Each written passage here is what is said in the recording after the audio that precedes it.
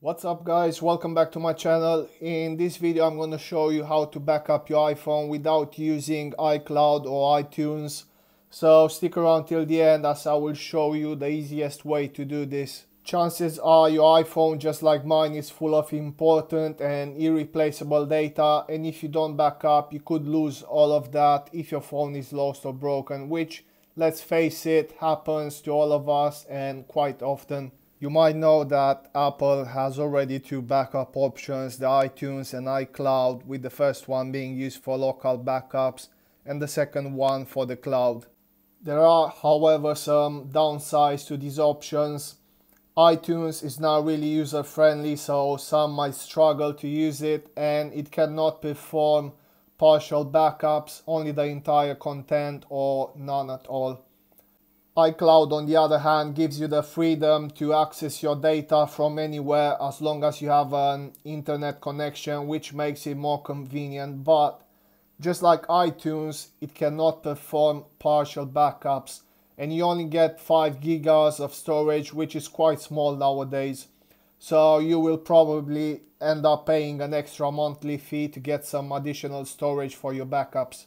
So the first thing you have to do is connect your iPhone with your laptop or Mac using an USB cable.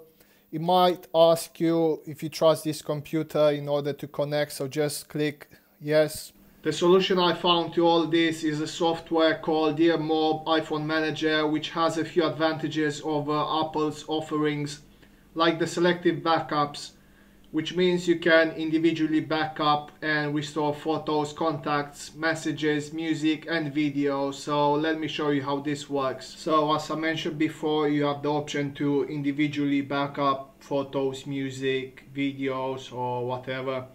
Or you can do a full backup, which we are going to do now. So just click backup and restore. Backup now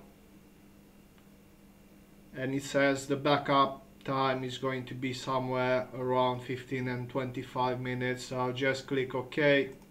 And now DearMob is backing up your device to computer.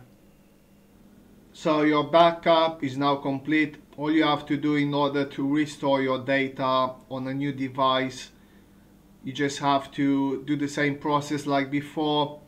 Plug in your iPhone to your laptop with um, a USB cable then open DearMob manager and just go to restore backup files. In here you will see your last backup and the size of it so just select that and click restore now. I won't go through all the advantages this software has over iTunes but I will cover that in a separate video so make sure to subscribe if you want to see that coming. I hope this has been useful and would appreciate a thumbs up. If you know any better ways to back up your data let me know in the comments below. And that's it for this video. Thank you for watching and good luck till next time.